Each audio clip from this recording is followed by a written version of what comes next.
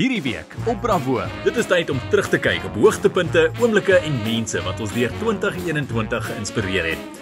Ons ontmoet chef, entrepreneur en sakeman Bertus Bason van In die Sop. Gesels met die aktrise Rian de Grey oor haar modereeks en moederskap en ontmoet die singende mediese dokter Darren Green van Tussen Ons Medies. Dis Bravo hierdie Sondag aan 7:30 net op kyk net.